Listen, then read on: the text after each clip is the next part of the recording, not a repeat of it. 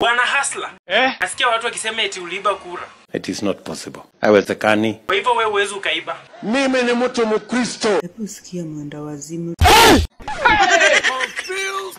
Wacha Ukristo wako ujitangaze, sio wewe kututangazia. Mimi ni mtu nimeenda Sunday school. Ukristo sio kuenda kwa kanisa.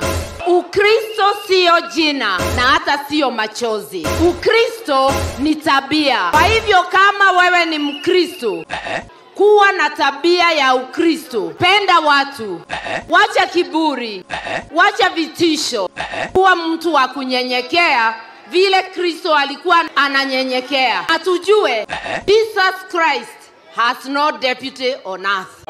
no no. No, no, no, no.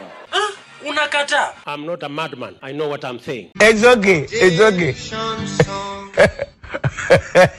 Unakataa.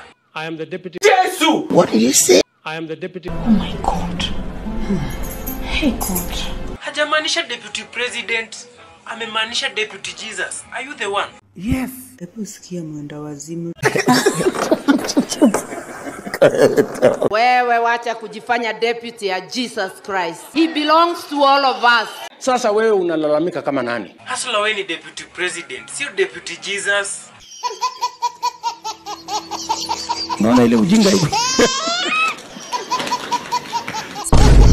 Martha, endelea. Yesu alisema, siyo kila mtu anaitana Yesu Yesu ataingia kwa ufalme wa mbinguni. Wacha kujifanya saizi eti sijui unajifanya nini. Mmenikuta kwa siasa, nikienda kanisa, nikifanya mambo yote. Sasa this late hour, you want to doubt my Christianity.